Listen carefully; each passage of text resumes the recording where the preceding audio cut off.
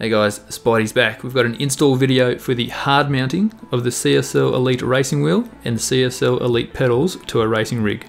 Now this wheel comes ready for desk mounting with the included desk clamp, but you're going to have to put a little bit of extra work in if you want to hard mount this racing wheel to your actual racing rig. I'll list the steps below in the description and also I'll pin a comment with the written version and links to Fanatec's website for the drilling templates and also the manuals. Now what you're going to need is you're going to need three M6 bolts. Make sure you get the cap screw type as you can use an Allen key for these.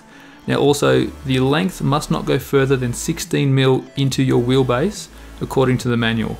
So make sure you test out how thick your actual rig is and the metal that you're going through and make sure that 16 mil does not go further into your wheelbase. You're then going to need six M8 bolts, again cap screw type, and these are for your pedals and for the pedal base. Now you're going to need some nylon lock nuts as well to make sure to fit the M8 bolts and to secure everything down.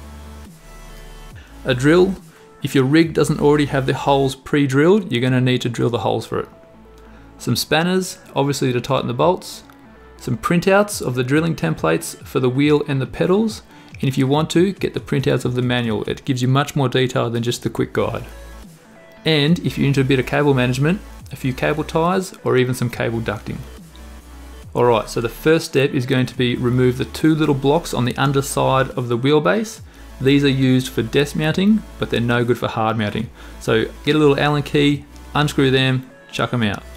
Next, place the wheel and pedals in a position you think is comfortable and settle on a final position before drilling any of the holes. Once you've got that position you're happy with, sticky tape the drilling templates down and then drill the holes. Once you've done, clean away any sharp edges that might have been left from the drill on the holes to make sure nothing scratches and nothing does any damage to your wheel or your pedal base. Also, while you're doing your templates and your drilling and before you start bolting things down, think about cable management. Make sure that no cables are pinched or caught between anything.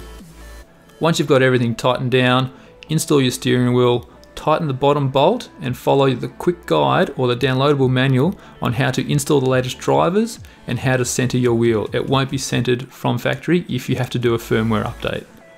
After all that, you're good to go and find your ideal force feedback settings in your racing game.